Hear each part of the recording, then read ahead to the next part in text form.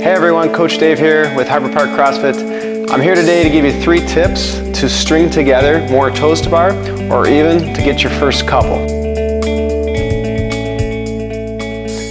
So the very first tip that I can give you is we want to remember that toes to bar involves a kip and not just swinging. Okay, and what the difference between those two are is a kip is an arc body and a hollow body hold on the bar that you can have control over. So if I were to say stop, you can stop the swing controlled. Whereas a swing would be just swinging uncontrollably and having no control over that. Okay, so I'm gonna demonstrate the two. So here we go with a kip. So it's very controlled with that core. And if I were to say stop, I can stop it. Swinging on the other hand is more coming from the legs and I have no control over that. If you were to say stop, I'm still kind of swinging and there's not much control there. Okay, so there's the difference.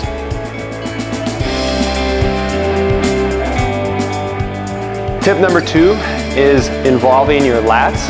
You really need to get the lats involved on a toes to bar because you need to create the tension in the bar to be able to get back far enough to be able to kick it. So we need to think about when we're pulling, we gotta pull down on that bar we're engaging those lats, which allows us to get further back and then think about bringing those, the bar and the hands to, towards our toes.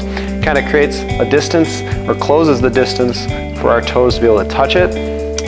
And if I don't have my lats turned on, the difference is gonna be I go back into that swing position. And if we're looking at the bar, if my lats are engaged, when I push down on that bar and I'm engaged the lats in my core, my hips are going to be slightly in line with this upright or they're going to be further behind.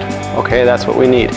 If I don't or I lose tension with my lats or I don't engage them, the tendency is going to be my hips are going to swing back underneath and then they're going to be out in front of the bar. If they're out in front of the bar, you don't have enough tension and you're not going to be able to continuously uh, pull them out in, and by doing a kip, okay? So you're not gonna be able to continue doing one, two, three, four, five, and so on because the hips are out here and then you're just swinging uncontrollably and then you don't have control over that swing. All right, so just to demonstrate that, I will have a controlled kip. So here we go in the kip.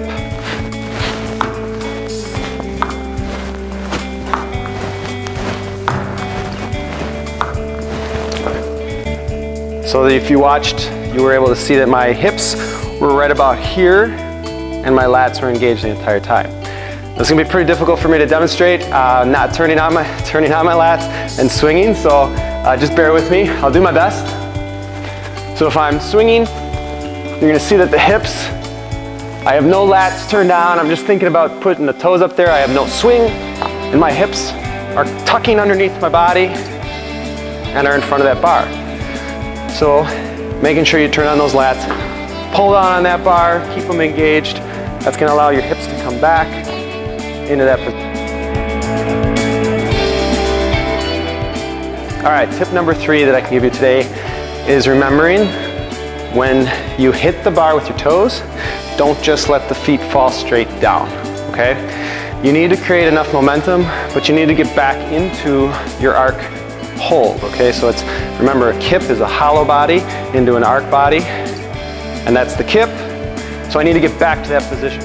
So as soon as I come through and touch the bar, I'm coming into that hollow body position, I'm closing it, I'm gonna touch that bar, and then I'm gonna come back into that arc body position, and I have to get back to those positions. If I just hit the bar and drop my feet straight down, then I'm gonna go into a swing and I have no control over it, okay? So watch my positions as I swing on the kip. This is a proper toes to bar.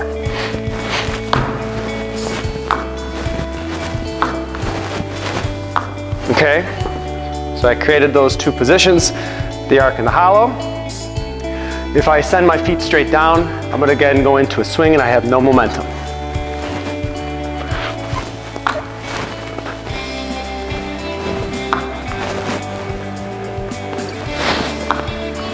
Here we go, the three tips today. Remember, we want a, a kip, not a swing. So maintaining the tension on that, and remember, it comes from the shoulders, and we want to make the arc and the hollow position, okay? Tip number two, Engage your lats, hold down on that bar. Make sure the hips get sent back into that hollow body position, and then we're gonna come up with the toes. And then tip number three is to send the feet back behind you. So we're in that arc position, and then we come through and we close. I hope that this video was helpful to you guys. Um, I'd like to see a couple of you guys get your toes to bar finally. Just remember it's a lot of practice, but also if you can follow these tips, hopefully you'll be able to get it. Good luck guys.